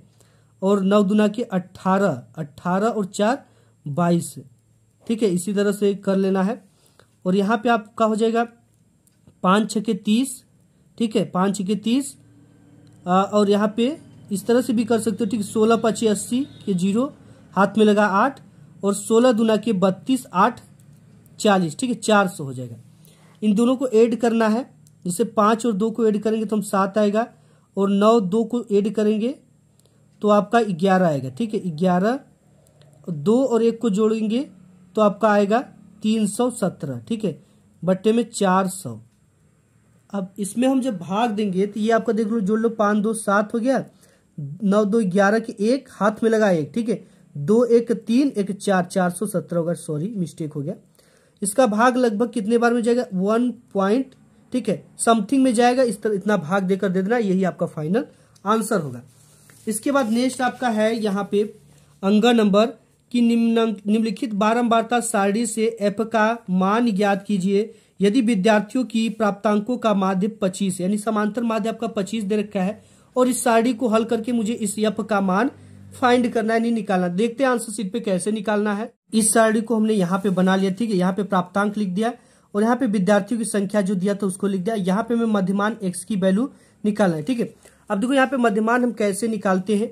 मध्यमान निकालने के लिए दोनों संख्याओं को जोड़कर दो से भाग दे देंगे। दस और ज़ीरो को जोड़ेंगे तो दस होगा, दस में दो का भाग देंगे तो पाँच आएगा, ठीक है? इसके बाद बीस और दस को जोड़ेंगे तो तीस। तीस में दो का भाग देंगे तो ये हो जाएगा आपका पंद्रह, ठीक है? इसके बाद तीस, बीस, पचास पचास में दो का भाग देंगे तो हो जाएगा पच्चीस, चालीस और तीस, सत्तर सत्तर में दो का भाग देंगे तो पैंतीस, और यहाँ पे पचास और चालीस, नब्बे नब्बे में दो का भाग दोगे तो पैतालीस। अब यहाँ पे देखो, ये ये आपका मध्यमान एक्स की वैल्यू निकल गई और विद्यार्थियों की संख्या जो होती है बारम्बारता मतलब उसे एफ़ से दिखाते और यहाँ पे लास्ट में हम क्या निकालेंगे? एक्स इंटू एफ़ निकालेंगे। यानी दोनों का मल्टीप्लाई निकालेंगे, ठीक है? यहाँ इंटू का मतलब इंटू है तो एफ़ और एक्स को क्या कर देंगे? गुड़ा कर देंगे। छह पंचे की क्या हो जाएगा? तीस। और यहाँ पे हो जाएगा पंद्रह ये यफ है तो यहाँ पे पंद्रह एफ़ हो जाएगा। पंद्रह एफ़ इसके बाद यहाँ पे हो जाएगा आपका छह पंचे के तीस और छह दुना के बारह तीन, पंद्रह, ठीक है? यानी पच्चीस छः के डेढ़ सौ, ठीक है? छह पंचे पाँच के तीस और छह दुना के बारह, तीन पंद्रह, एक सौ पचास। यहाँ पे अब इसका मल्टीप्लाई करेंगे तो तीन सौ पचास हो जाएगा। अब इसके बाद हम इसका मल्टीप्लाई करेंगे तो पाँच पचे के पच्चीस, पाँचों की बीस दो बाईस, यानी दो सौ बाईस हो जाएगा। ये हो गया। ठीक है। अब यहाँ से हम क्या क्या निकाल सकते हैं? यहाँ से सिग्मा एफ़ इंटू एक्स का वैल्यू निकालेंगे। यानी इसको सभी को जोड़ देंगे। ठीक है। देखो जोड़ेंगे कैसे? यहाँ पे एक पाँच है और बाकी सब ज़ीरो होते हैं। यहाँ पे पाँच को लिख देंगे। इसके बाद दो वाले को जोड़ लो। दो, पाँच, सात सात, पाँच, बारह। बारह और तीन होगा आपका पंद्रह। पंद्रह के भी पाँच हो जाएगा। इसके बाद लास्ट वाले को जोड़ लो। दो, तीन, पाँच, एक, छ, एक, सात। ठीक है, सात, एक हासिल, आठ। ठीक है, ये हासिल हुआ था ना इसमें। देखो, पाँच, दो, सात सात, पाँच, बारह। बारह, तीन, पंद्रह। ठीक है इसको लास्ट में जोड़ेंगे प्लस में लिखेंगे। ठीक है तो हो जाएगा पंद्रह के पाँच हाथ में लगा एक और यहाँ पे हो जाएगा दो, तीन, पाँच, एक, छ, ठीक है? छ हो जाएगा और इसका एक हासिल सात सौ पचपन हो जाएगा सिग्मा एप्स की, एप, सात सौ पचपन और प्लस पंद्रह को भी लिखेंगे। तो यहाँ पे नहीं हटा तो यहाँ पे प्लस पंद्रह एफ़, ठीक है? यानी कि हमारा जो सिग्मा एफ़ एक्स की वैल्यू आ गई, वो क्या आ गई? सिग्मा एफ़ इंटू एक्स की वैल्यू सात सौ पचपन प्लस पंद्रह एफ़, ठीक है? ये आ गया। अब यहाँ पे हम ये ये एफ़ है तो यहाँ से हम क्या वैल्यू निकालेंगे? सिग्मा एफ़ की वैल्यू इसके लिए हमको सिंपली इसको जोड़ देना है। देखो ये पाँच और दस को जोड़ेंगे पंद्रह। पंद्रह छः इक्कीस। इक्कीस छः आपका जोड़ दोगे तो सत्ताईस। ये जगह सत्ताईस प्लस में एफ़ है तो एफ़ को लिख देंगे प्लस एफ़ ठीक है? अब यहाँ से हमारा सिग्मा एफ़ की वैल्यू कितना आ गई? सत्ताईस प्लस एफ़ आ गया। ठीक है? अब हम जानते हैं कि हमारा मादिका भी इसमें दे रखा है। देखो यहाँ पे दे रखा है मादिका कितना है? पच्चीस है मादिका ठीक है? तो यहाँ पे हम जानते हैं कि मादिका बराबर जो फार्मूला होता है, वो क्या होता है? मादिका बराबर यहाँ पे सिग्मा ये sigma f into x upon sigma f ठीक है? तो मादिका कितना दे रखा है? मादिका पच्चीस दे रखा है तो यहाँ पे पच्चीस लिख दो। सिग्मा एफ़ एक्स की वैल्यू क्या है? ये है। सात सौ पचपन प्लस पंद्रह एफ़ बटे में, और इसकी सिग्मा एफ़ की वैल्यू क्या है? सत्ताईस प्लस एफ़ सत्ताईस प्लस एफ़ ठीक है? अब यहाँ पे इसका मल्टीप्लाई इधर हो जाएगा तो ये हो जाएगा पच्चीस इन ब्रैकेट सत्ताईस प्लस एफ़ बराबर सात सौ पचपन प्लस पंद्रह एफ़ ठीक है? ये हमने लिख दिया। अब देखो इसको कैसे हल करना है। अब इसका मल्टीप्लाई इसमें हम पढ़ेंगे, ठीक है? तो ये आ जाएगा छह सौ पचहत्तर आ जाएगा, ठीक है? आप इसको पढ़ लेना, छह सौ पचहत्तर प्लस पच्चीस का एफ़ में करोगे तो पच्चीस। एफ़ बराबर सात सौ पचपन प्लस पंद्रह एफ़ अब एफ़ एफ़ वाले को एक तरफ़ कर देंगे। जैसे यहाँ पे पच्चीस एफ़ तो अपने जगह पे रहेगा पच्चीस एफ़ यहाँ पे पंद्रह एफ़ इधर आएगा तो माइनस में जाएगा, इधर प्लस है तो माइनस का पंद्रह एफ़ बराबर। सात सौ पचपन अपने जगह पे है, सात सौ पचपन माइनस छह सौ पचहत्तर जो है ये किसमें है? ये प्लस में इस पर आएगा तो माइनस में छह सौ पचहत्तर। ठीक है? अब यहाँ पे सात सौ पचपन में से छह सौ पचहत्तर घटा दोगे तो ये बच जाएगा आपका अस्सी। और इसमें से पच्चीस में से पंद्रह जाएगा, ये हो जाएगा दस एफ़ ठीक है? दस एफ़ बराबर कितना हो गया? अस्सी। और एफ़ बराबर आपका हो जाएगा, ये गुड़ा में है दस, उस पर जाएगा तो भाग में हो जाएगा बराबर, के पश्चांतर का रूल कहता है। एक ज़ीरो से एक ज़ीरो रिला गया मतलब खत्म हो गया तो एफ़ बराबर आपकी वैल्यू क्या हो गई? आठ, इसी को हमें क्या करना था? फाइंड करना था। तो हमने इसको क्या कर दिया? फाइंड हो जाएगा, यही आपका फाइनल आंसर हो जाएगा। ब्लैक पेन से बोर्ड एग्ज़ाम में इन ब्रैकेट में करके लिख देना। ये तो निकल गया, ठीक है? एफ़ की वैल्यू अब इसके बाद च नंबर दे रखा है आपका कि निम्नलिखित बारंबारता सारणी से बहुलक ही ज्ञात कीजिए। बारंबारता सारणी से बहुलक ही ज्ञात करना। ध्यान देना है आपको, ठीक है? इसी चीज़ में बच्चे गलती कर देते इसका फार्मूला इसमें लगा देंगे, इसका फार्मूला उसमें लगा देंगे, और इसी में गलती माधिका का मतलब सारणी से माधिका बहुलक निकालना है। सारणी से बंटन माधिका निकालना है। ठीक है, इन सब चीज़ों को मैंने डिटेल्स में तीन चार छह वीडियो दिया हूँ आपको। ठीक है, उसको आप ज़रूर देख लेना। तो देखो सारणी से बहुलक कैसे निकालेंगे, सबसे पहले तो इसी को हम बना लेते हैं आंसर सीट पे। सर, देखो, यहाँ पे सारणी से बहुलक की ज्ञात करने का हमने श्रेणी को यहाँ पे बना लिया। ठीक है, इस तरह से आपको बनाना है बोर्ड एग्ज़ाम में बकायदे पाई स्केल से खींचकर। अब इसके बाद हमें बहुलक की ज्ञात करना देखो, इसमें सबसे अधिक बारंबारता देखना है। यानी आप अगर अपने शब्दों में समझो तो सबसे बड़ी संख्या इसमें से आप खोजो, ठीक है? सबसे बड़ी संख्या आपको मिले बारह। तो ये जब बारह मिलती है ना तो ये आपका हो जाता है एफ़ वन की वैल्यू बारह। और जस्ट अगर एफ़ वन के ऊपर जाओगे तो एफ़ ज़ीरो की वैल्यू मिलेगी आपको, ठीक है? यानी कि कोई भी संख्या ज़ीरो से शुरू होगी, ज़ीरो से बड़ा एक होगा, एक से बड़ा दो होगा, ठीक है? तो एक के ऊपर हम जाएँगे तो ज़ीरो। तो यहाँ पे एफ़ ज़ीरो की वैल्यू हमको क्या मिल गई? दस मिल गई। अब यहाँ पे इसके नीचे जब हम एफ़ वन के आएँगे तो ये एफ़ टू मिल जाएगा। एफ़ टू की वैल्यू क्या हो गई? छह हो गई, ठीक है? और सबसे बड़ी संख्या जो एफ़ वन है, उसका जो वर्ग अंतराल है, वो क्या है? एक, दो, तीन। ठीक है, एक, दो, तीन चौथे नंबर पे। एक, दो, तीन, चौथे। साठ से अस्सी इसका वर्ग अंतराल हो गया। तो ये आपका एल की वैल्यू हो गया और 80 में से 60 को घटा देंगे तो एच की वैल्यू निकल जाएगा। इन्हीं सब चीज़ों को हमको नीचे लिखना पड़ता है। ठीक है, जैसे यहाँ पे लिखेंगे, सर्वाधिक बारंबारता किसका है? यहाँ पे लिखना पड़ेगा। ठीक है, आपको बोर्ड एग्ज़ाम में लिखना पड़ेगा सर्वाधिक बारंबारता। बारंबारता कितना एफ़ वन की वैल्यू बारह है। तो सर्वाधिक बारंबारता की वर्ग अंतराल क्या है? लिखेंगे कि सर्वाधिक, ठीक है, आप इस तरह से लिख लेना, सर्वाधिक बारंबारता का, ठीक है, बारंबारता का वर्ग अंतराल वर्ग अंतराल, ठीक है। कितना है? साठ से अस्सी तो यहाँ पे लिख देंगे साठ से अस्सी, ठीक है। अब यहाँ से एक चीज़ हमको दो चीज़ें मिलेगी, एक तो एल की वैल्यू मिल जाएगा आपको, कितना? एल बराबर साठ है। लोअर लिमिट एंड इसी में से हम एच को घटा देंगे। यहाँ पे एच बराबर अस्सी माइनस साठ। ठीक है, इसी को अस्सी में से साठ को घटा देंगे। ये हो जाएगा बीस। आपका किसकी वैल्यू आ जाएगी ये? जब हम 80 में से 60 को, यानी इसी 80 में से 60 को घटा देंगे, यानी higher limit minus lower limit तो आपका बी एच की वैल्यू क्या निकल कर आ जाएगी? 20 ठीक है? और यहाँ पे और भी वैल्यू हमने निकाला एफ़ ज़ीरो की वैल्यू कितना निकाला है? दस निकाला है। यानी एफ़ ज़ीरो की वैल्यू दस है। एफ़ वन की वैल्यू बारह यहाँ पे लिखा है। एफ़ टू की वैल्यू क्या है? एफ़ टू की वैल्यू छ है, ठीक है? इतना चीज़ हमने लिख लिया, आप सिंपल इसका फार्मूला लगा देना। तो हम जानते हैं जो फार्मूला होता है बहुलक बराबर, क्या होता है? बहुलक बराबर l plus f one minus f zero upon two f one ठीक है? Two f one minus f zero minus f two into में हाइट ठीक है? यानी ऊंचाई। इतना कुछ लिख लिया, सब कुछ आपको रख देना है। एल की वैल्यू कितना है? साठ है। तो यहाँ पे साठ को रख दो। सॉरी साठ है ना? साठ प्लस एफ़ वन की वैल्यू क्या है? एफ़ वन की वैल्यू बारह। ठीक है, यहाँ पे बारह रख देंगे। बारह माइनस एफ़ ज़ीरो की वैल्यू क्या है? दस है। तो दस रख दो बटे में। टू एफ़ वन ठीक है, दो है। गुणित एफ़ वन की वैल्यू क्या है? एफ़ वन की वैल्यू बारह है तो यहाँ पे रख देंगे बारह माइनस माइनस है तो माइनस एफ़ ज़ीरो की वैल्यू, दस है तो दस रख देंगे यहाँ पे। इसके बाद माइनस है तो माइनस लगा देंगे। एफ़ टू की वैल्यू क्या है? छ है। तो यहाँ पे हम क्या लिख देंगे? छ गुणित्य में एच की वैल्यू क्या है? बीस है। तो आप लिख देंगे बीस। अब इसी को हमें सॉल्व करना है और हमारा बहुलक क्या आ जाएगा? निकल कर आ जाएगा। ठीक है? देखो इसको कैसे सॉल्व करना है। साठ को रहने दो इसी तरह से। प्लस बारह में से आपका दस जाएगा, दो बचेगा, दो का मल्टीप्लाई बीस में कर दोगे तो हो जाएगा आपका चालीस। सिंपल, ठीक है? ये तो समझ में आ रहा है कि बारह में से दस गया दो दो का मल्टीप्लाई बीस में हुआ चालीस।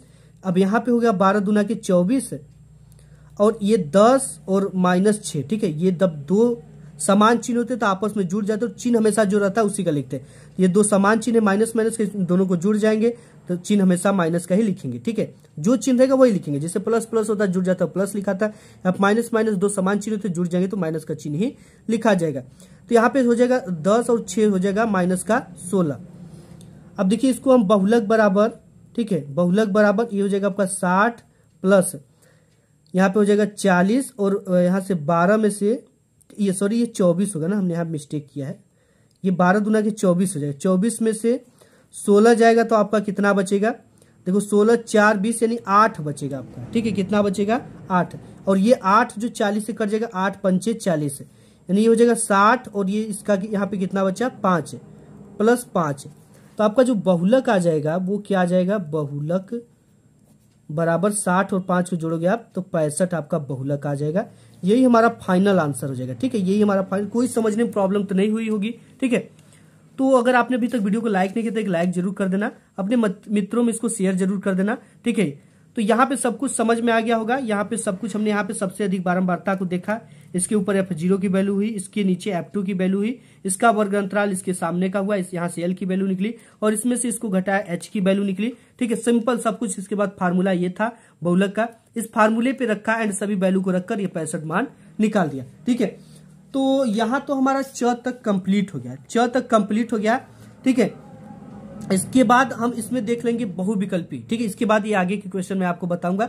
बहुविकल्पी आप देख लो इसके बाद। इसमें पहला बहुविकल्पी यहाँ पे है, ये कि परिमेय संख्या सत्रह अपान टू का स्क्वायर इंटू फाइव का दशमलव प्रसार निम्नलिखित में से किस दशमलव स्थान तक जाएगा? ठीक है, इसका हमको गुड़ा करना पड़ेगा। देखो, भी सिंपल है बिल्कुल। हम सत्रह, दो का स्क्वायर गुड़ते पाँच यहाँ पे लिख दिया। ठीक है, अब इसको हल कर लो थोड़ा सा सत्रह, और ये दो दुना के चार हो जाएगा। दो गुड़ते दो बराबर चार, और गुड़ते पाँच, ठीक है? तो पाँच का मल्टीप्लाई हम करेंगे तो सत्रह, पाँच चौके बीस, ठीक है? ये बीस हो जाएगा। अब इसमें आप भाग दो। ठीक है, ये भाग पूछेगा कितने स्थान तक जाएगा। इसमें भाग नहीं जाएगा तो हम क्या बढ़ाएँगे? दशमलव बढ़ा देंगे। तो दशमलव के बाद यहाँ पे ज़ीरो बढ़ जाता है, ठीक है? दशमलव लगाने से। और तीन स्थान तक हम ज़ीरो बढ़ाते हैं। यहाँ पे बीस, आठ है, ठीक इस तरह से भी आप गुड़ा कर सकते भाग दे सकते हो। एक सौ सत्तर, ठीक है? क्या एक हमने ज़ीरो लगाकर पॉइंट बढ़ा दिया। ठीक है तो बीस, आठ है, यहाँ पे आठ शून्य शून्य हो जाएगा और आठ दुना के सोलह, एक सौ साठ। इसमें से घटा दो ज़ीरो, सात में से छह गया एक, इससे एक कट गया, ठीक है? अब इसके बाद एक ज़ीरो हम दशमलव लगाने के बाद तीन स्थान तक ज़ीरो बढ़ाते अब इसका हम भाग देंगे तो ये हो जाएगा बीस पंचे सौ। यानी कि यहाँ पे टोटल पूरा का पूरा समाप्त हो जा रहा है। तो हमारा जो दशमलव कितने स्थान तक गया? दो ही स्थान तक गया, ठीक पॉइंट के बाद एक, दो। यहाँ पे देखते क्या क्या दे रखा है। देखो, यहाँ पे किस दशमलव स्थान की बात समाप्त होगा? तो दो स्थान की बात समाप्त हो रहा है। और यहाँ पे एक चीज़ देख सकते हो कि दूसरा है कि बिंदु माइनस तीन, कामा पाँच की वाई अक्ष से दूरी क्या होगी? देखो, बिंदु के यहाँ पे लिख देते हैं।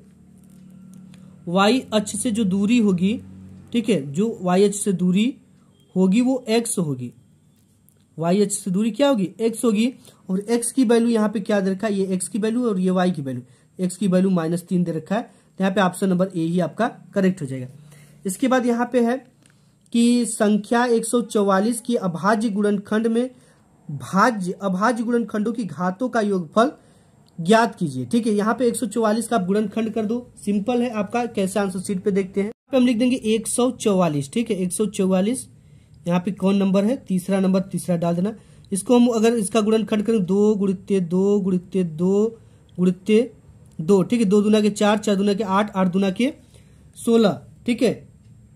सोलह सोलह सौ बत्तीस, सोलह तिया अड़तालीस, और अड़तालीस तिहाई के आप करोगे तो एक सौ चौवालीस होता है। यहाँ पे दो का कितना घात है? दो के ऊपर चार घात है। गुणित्य तीन कितने बार है? तीन आपका दो बार है। तीन दो बार है। इन दोनों, ये अभाज्य संख्या है। दोनों क्या सहभाज्य संख्या, इनके घातों को जोड़ दो। चार और दो को जोड़ दोगे आप तो ये हो जाएगा आपका छह। ठीक है तो आपका आंसर छ ही करेक्ट होगा। तो यहाँ पे आपका ऑप्शन नंबर डी करेक्ट हो जाएगा। इसके बाद दे रखा दिया गया लस एक सौ बत्तीस, कामा दो सौ अट्ठासी, इकतीस अड़सठ तो मस एक सौ बत्तीस, दो सौ अट्ठासी होगी। ठीक है, यहाँ पे देखो पहली संख्या है और आपकी दूसरी संख्या है और यहाँ पे लस दे रखा है, हमसे क्या मस पूछ रखा है। ठीक है? तो इसका हम फार्मूला क्या जानते हैं? म स बराबर, यहाँ पे आपका चौथा नंबर क्वेश्चन ठीक है? म स बराबर, पहली संख्या पहली संख्या, गुणित दूसरी संख्या दूसरी संख्या बट्टे में बट्टे में आपका क्या हो जाएगा? लस अब देखो मस बराबर आपका हो जाएगा यहाँ से। ठीक है, मस बराबर आपका क्या जाएगा पहली संख्या इसमें क्या है? 132 है, ठीक है? तो यहाँ पे 132 रख देंगे। दूसरी संख्या आपका क्या है? दो सौ अट्ठासी है, दो सौ अट्ठासी रख देंगे। बट्टे की लौसर क्या दे रखा है? इकतीस अड़सठ लौसर दे रखा है, इकतीस अड़सठ, ठीक है? इसको आप मोबाइल फ़ोन या किसी से भी सॉल्व कर सकते हो। इसका मल्टीप्लाई इसमें करना पड़ेगा, ठीक है? जब सॉल्व करोगे तो आपका आंसर बारह आना चाहिए। कितना आना चाहिए? बारह तो यहाँ पे ऑप्शन नंबर डी करेक्ट हो जाएगा। देख लेना आप। पांचवा नंबर क्वेश्चन की यदि दिघात समीकरण थ्री एक्स स्क्वायर माइनस बारह एक्स प्लस एम के बराबर ज़ीरो के मूल बराबर हो तो एम का मान ज्ञात कीजिए। ठीक है, मूल बराबर होने के लिए हम क्या जानते हैं कि डी बराबर ज़ीरो होता तो मूल बराबर होती है। समीकरण दे रखा है कि थ्री एक्स स्क्वायर माइनस बारह एक्स प्लस एम बराबर ज़ीरो। ठीक है, इसकी हम कंपेयर किससे कर देंगे? डी का, ठीक है, डी बराबर बी का square minus four a c से ठीक है? कंपेयर ने इसका फार्मूला है। इसका कंपेयर हम a x square plus b x plus c बराबर ज़ीरो से करने पड़ते ए बराबर आपका क्या निकल कर आ जाएगा? ए बराबर आपका तीन निकल कर आ जाएगा। बी बराबर माइनस का बारह निकल कर आ जाएगा। और यहाँ पे सी बराबर एम निकल कर आ जाएगा। सी बराबर एम निकल कर आ गया, ठीक है? अब यहाँ से हम जानते हैं डी बराबर बी का स्क्वायर बी की जगह पे क्या माइनस बारह है, ठीक है? तो माइनस बारह का क्या हो जाएगा? स्क्वायर माइनस फोर है तो फोर बोलते, ए की वैल्यू क्या है? ए की वैल्यू तीन है तो तीन रख दो। सी की वैल्यू क्या है? सी की वैल्यू एम है तो एम रख दीजिए। अब इसको हमें सॉल्व करना है, ठीक, हल करना है। कैसे हल होगा? बारह बारह हम एक सौ चौवालीस माइनस है तो ये प्लस हो जाएगा स्क्वायर में। माइनस चार त्याई के बारह बारह एम ठीक है? अब यहाँ से आपका बारह एम किसमें है? माइनस में, इस पर आएगा बराबर के, ठीक है? बराबर किया ज़ीरो इसके बराबर रख दो। बराबर के उधर जाएगा तो प्लस में जाएगा। तो हो जाएगा बारह एम बराबर एक सौ चौवालीस। ठीक है, ये पशांतर हो गया, माइनस का था तो बराबर के उधर गया तो ये प्लस हो गया, और ये एक सौ चौवालीस हो गया, ठीक है तो एम बराबर आपका हो जाएगा एक सौ चौवालीस बटे के बारह, ठीक है, बारह बारह हम एक सौ चौवालीस, यानी इसका आंसर जो होगा वो बारह होना चाहिए।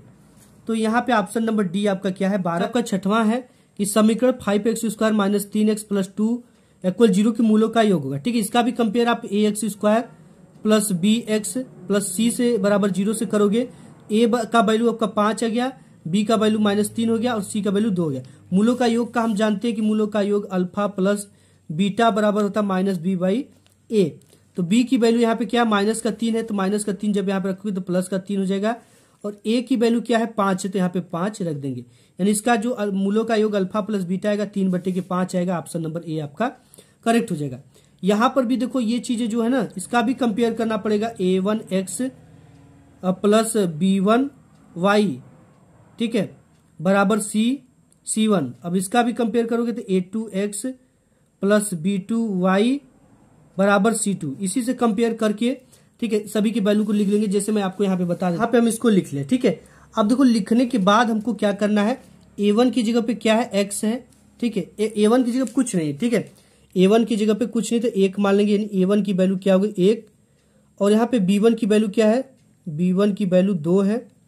सी वन की वैल्यू सत्तर है सी वन की वैल्यू सत्तर ठीक है? अब यहाँ पे ए टू की वैल्यू क्या है? दो है। ए टू की वैल्यू दो।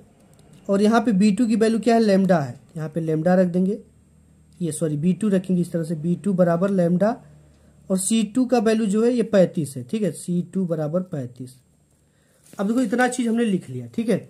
अब इसकी कंपेयर हम क्या कर देंगे? A one upon a two equal b one upon b two equal not c one upon c two सभी की वैल्यू को रख दो आप। ए वन की वैल्यू यहाँ पे एक है तो एक रख दिया। ए टू की वैल्यू क्या है? दो है तो दो रख दिया। बराबर। बी वन की वैल्यू क्या है? दो है तो दो रख दिया। बी टू की वैल्यू क्या है? बी टू की वैल्यू यहाँ पे देखो लैमडा है तो यहाँ पे क्या रख दोगे? लैमडा रख दोगे। इक्वल नॉट सी वन की वैल्यू क्या है? सात है तो सात रख दिया। सी टू की वैल्यू पैंतीस है तो पैंतीस रख दिया। ठीक है? आप चाहो तो इन दोनों को लेकर हल करो या इन दोनों को लेकर हल करो। किसी दो को लेकर हल कर देंगे तो आ जाएगा लेमडा की वैल्यू यहाँ पे हम इसी इन दोनों को लेकर हल करते एक बटा के दो equal two upon lambda lambda का मल्टीप्लाई एक में कर देंगे तो हो जाएगा लेमडा बराबर दो का मल्टीप्लाई दो में कर देंगे तो हो जाएगा चार। यानी लेमडा की वैल्यू कितना आ गई? चार, ये फाइनल आंसर होगा, ठीक है? तो ये आपका चार फाइनल आंसर हो जाएगा इसका, ठीक है? इस, इन सब चीज़ों को तो हमने बता दिया, एक पेपर में था, ये भी बता दिया हूँ, ठीक है? एक पेपर में था। इसको भी आप देख लेना, यहाँ पे एक देख लो इसको। ये हो जाएगा आपका साइन इकतीस अंश और ये हो जाएगा आपका साइन नब्बे अंश माइनस इकतीस अंश।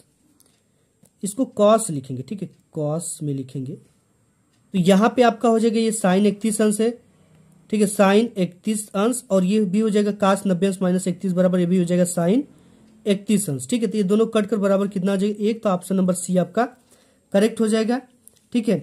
इसके बाद यहाँ पे ये पंद्रह नंबर देख लो, ये सब चीज़ें हम बता चुके त्रिभुज वाला। अच्छी तरीके से यदि वृत्त की परिधि और क्षेत्रफल का संख्यात्मक रूप समान तो उस वृत्त की त्रिज्या क्या होगी, ये हमसे पूछ रखा है ठीक है? अब वो त्रिज्या इसकी हम कैसे निकालेंगे, ये सबसे इंपॉर्टेंट है त्रिज्या निकालना। तो इसके लिए हम क्या करेंगे, यहाँ पे वृत्त की परिधि बराबर वृत्त का क्षेत्रफल, ठीक है? से निकल जाएगा वृत्त का परिधि परिधि बराबर वृत्त का क्षेत्रफल। ये हो जाएगा, ठीक है? तो वृत्त की परिधि जो होती है वो टू पाई आर होती है और वृत्त का जो क्षेत्रफल होता है वो पाई आर का स्क्वायर होता है। तो यहाँ से पाई से पाई कटा, आर से एक आर कटा, आर बराबर आपका क्या हो गया? दो मात्रक हो जाएगा, ठीक है? यही आपकी त्रिज्या आ जाएगी। तो यहाँ पे क्या है? देखो, त्रिज्या क्या होगी? त्रिज्या दो मात्रक होगी, ऑप्शन नंबर ए करेक्ट हो जाएगा। इसके बाद यहाँ पे कि एक ठोस धातु की घनाभ जिसकी बीमाएँ, यानी कि ये जो बैलूम है, उसकी नौ गुड़ते आठ गुड़ते दो मीटर है, को पिघलाकर दो मीटर कोर के घन बनाए गए हैं। इस प्रकार बने घनों की संख्या, कितनी होगी इसको सूत्र से हम लगाना पड़ेगा। फार्मूला होता है, देखो यहाँ पे घनाभ का आयतन नौ गुड़ते आठ गुड़ते दो दे रखा मीटर और घन का आयतन दो मीटर दे रखा घनों की संख्या बराबर एक फार्मूला होता है कि घनाभ, ठीक है, घनाभ का आयतन आयतन बटे के घन का आयतन, ठीक है? घन का आयतन। ये हो गया। घनाभ का आयतन कितना दिया? इसको लिख दो आप। नौ गुड़ते आठ गुड़ते दो बट्टे में घन का आयतन क्या है? दो। तो दो का आपका क्या हो जाएगा? क्यूब हो जाएगा, ठीक है? दो का आयतन निकाल रहे हैं क्यूब। एक दो से एक दो कट गया, एक दो दो ठो दो बचा यहाँ पे। तो हो जाएगा नौ गुड़ते आठ, ठीक है? बटे में दो ठो दो बचा यानी चार बचा है। हो जाएगा चार दुना के आठ और ये हो जाएगा नौ दुना के अट्ठारह, ठीक है? तो इसका जो आंसर आएगा, घनों की संख्या कितनी होगी? अट्ठारह ऑप्शन नंबर ए आपका करेक्ट हो जाएगा। इसके बाद सत्रह नंबर क्वेश्चन है कि निम्नलिखित साड़ी का माध्य होगा, ठीक है? इसमें क्या माध्य होगा? हमसे माध्य पूछ रखा है। तो इसके लिए हमको सबसे पहले इसको हल करना पड़ेगा, ठीक है? तब जाकर हमको इसका माध्य पता चलेगा, इसका साड़ी हमको बनाना पड़ेगा। साड़ी बना लेते हैं आंसर सीट पे। देखिए, सत्रह नंबर का हमने यहाँ पे साड़ी बना लिया ठीक है? अब इसका मध्यमान निकाल देंगे, इन दोनों को जोड़कर दो का भाग दे देंगे तो मध्यमान इसका पाँच हो गया, ठीक है? और यहाँ पे दस और बीस को जोड़ोगे तो तीस तीस में दो का भाग देंगे तो पंद्रह हो जाएगा। तीस, बीस को जोड़ेंगे तो पचास पचास में दो का भाग देंगे पच्चीस, चालीस, तीस को जोड़ेंगे सत्तर सत्तर में दो का भाग देंगे पैंतीस, और यहाँ पचास, चालीस को जोड़ेंगे नब्बे नब्बे में दो का भाग देंगे पैंतालीस, ठीक है? अब यहाँ पे इसका मल्टीप्लाई इधर कर देंगे तो पाँच की बीस हो जाएगा। एक्स इंटू एफ़ है तो ए आपका एक्स है, मध्यमान और बारंबारता को एफ़ से दिखाते दोनों का मल्टीप्लाई यहाँ पे होता है। इसके बाद पंद्रह, ये पंद्रह, पच्चीस, पचहत्तर हो जाएगा आपका, ठीक है? यहाँ पे पच्चीस छक्के आपका डेढ़ सौ हो गया, यानी एक सौ पचास हो गया। इसके बाद यहाँ पे पैंतीस, ठीक है, चार पंचे की बीस, चार तेई की बारह बारह और दो आपका कितना हो जाएगा, चौदह, एक सौ चालीस। इसके बाद पैंतालीस से कम पैंतालीस, ठीक है? यहाँ से आपको निकालना क्या है? यहाँ से सिग्मा एफ़ और यहाँ से सिग्मा एफ़ एक्स निकालना है, सिग्मा एफ़ इंटू एक्स। अब सिंपल इसको जोड़ दो, पाँच पाँच, दस, ठीक है? दो ही बार है तो यहाँ पे दस हो गया दस के ज़ीरो हाथ में लगा एक और चार चार, आठ। यहाँ पे आठ, पाँच, तेरह। ठीक है, तेरह, सात, बीस। बीस, दो, बाईस, एक का हासिल, तेईस। ठीक है, यहाँ पे तीन और यहाँ पे एक, दो। दो और इसका दो हासिल, चार सौ तीस। आपका आ गया क्या? Sigma f x. अब एफ़ को जोड़ दो। यहाँ पे पाँच, चार, नौ, एक, दस। अच्छा चार, दस, बीस। यहाँ पे सिग्मा एफ़ की वैल्यू क्या आ गई? बीस आ गई। अब यहाँ से हम जानते हैं कि मादिका बराबर जो फार्मूला होता है ठीक है, सिंपल है इसका। मादिका बराबर, sigma f into x upon sigma f ठीक है? सिग्मा एफ़ एक्स की वैल्यू कितना? चार सौ तीस है और इसका वैल्यू बीस है। यहाँ पे इसको ज़ीरो से ज़ीरो काट देंगे। दो का भाग इसमें देंगे, दो दुना के चार, दो कम दो, पॉइंट लग जाएगा, दो पंचे दस। यानी इक्कीस दशमलव पाँच हमारा क्या आ जाएगा? आंसर आ जाएगा तो ऑप्शन नंबर ये करेक्ट हो जाएगा, ठीक है? अट्ठारह नंबर क्वेश्चन है कि यदि दिए गए आंकड़ों का समांतर माध्य और बहुलक, क्रमशः अट्ठाईस समांतर माध्य, बहुलक सोलह है। तो माध्यिका क्या होगी, इसको फार्मूले पर रखकर हम पता कर लेंगे। यहाँ पे 18 नंबर वाला में समांतर माध्य, यानी माध्य का वैल्यू 28 है और बहुलक 16 है, ठीक है? हमको माध्यिका को फाइंड करना है। यहाँ पे हमने लिख दिया कि माध्य अट्ठाईस दिया और बहुलक सोलह दिया, ठीक है? अब हमें माध्यिका को फाइंड करना है तो इसका जो सूत्र होता है, वो होता है बहुलक बराबर। यहाँ से सूत्र इसका है कि बहुलक बराबर थ्री माध्यिका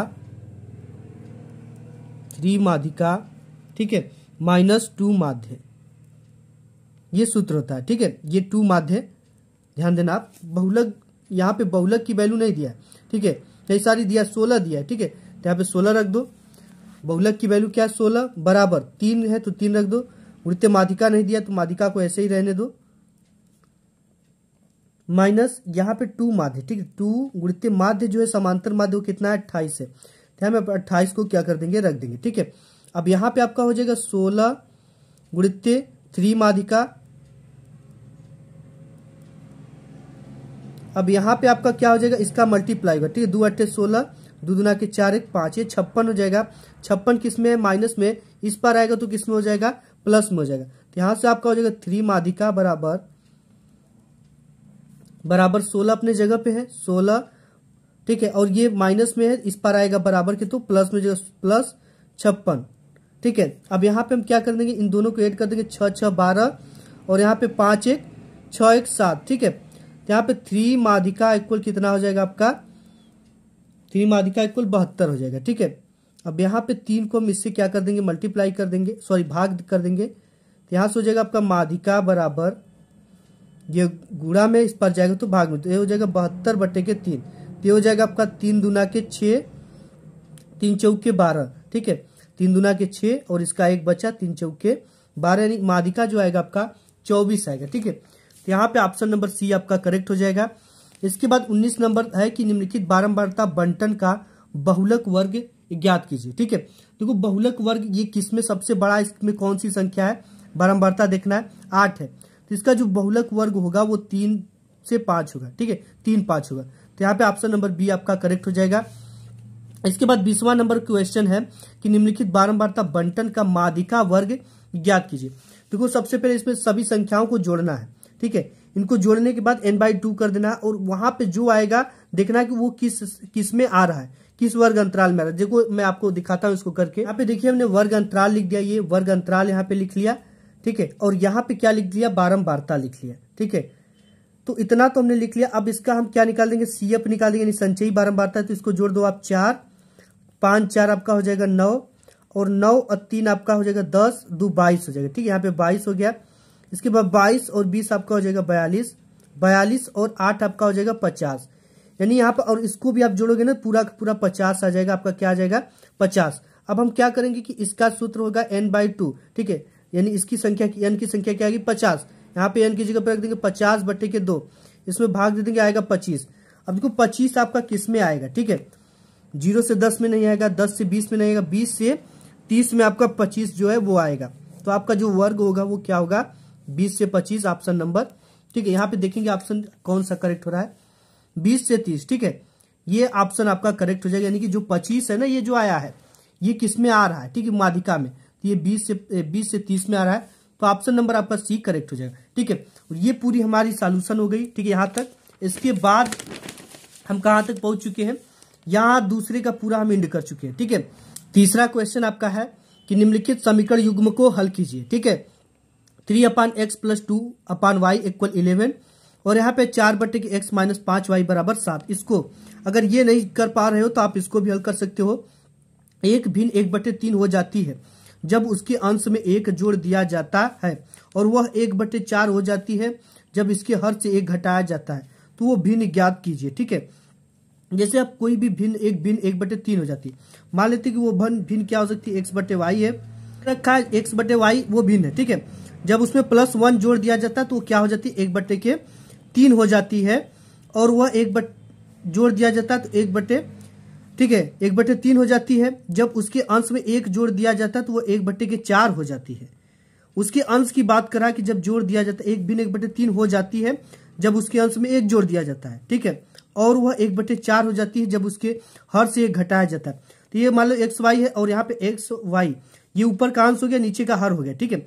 हर में से एक घटाया जाता है तो ये क्या हो जाती है? एक बटे के चार हो जाती है, इसी समीकरण को आपको हल करना आ जाएगा, ठीक है? यहाँ पे चौथा नंबर क्वेश्चन है कि एक मंदिर की ऊंचाई पंद्रह मीटर है।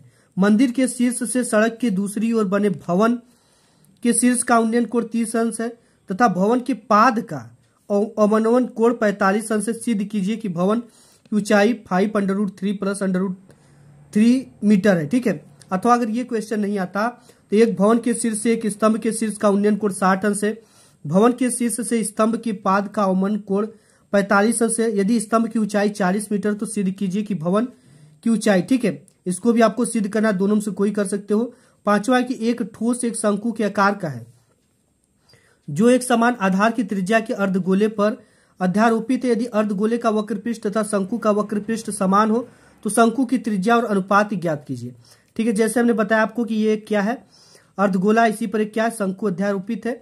तो इसी का हमको त्रिज्या और ऊंचाई का अनुपात ज्ञात करना है। ठीक है, अथवा अगर ये क्वेश्चन नहीं जानते तो बारह सेमी, सोलह सेमी, बीस सेमी व्यास वाले धातु के तीन ठोस गोलों को पिघलाकर एक ठोस गोला बनाया जाता है। इस ठोस गोले का व्यास ज्ञात कीजिए। ठीक है? ये पूरी सॉल्यूशन के साथ वीडियो हो गई। आज की अगर इसका कहोगे तो मैं सॉल्यूशन दे दूँगा। ठीक है? ये जो है। लेकिन आप कहोगे तब दूँगा। अगर मैं दे देता हूँ, आप नहीं देखोगे तो कोई मतलब नहीं होगा। वीडियो पसंद आए तो लाइक ज़रूर करना। मिलूँगा नेक्स्ट वीडियो तब तक के लिए धन्यवाद।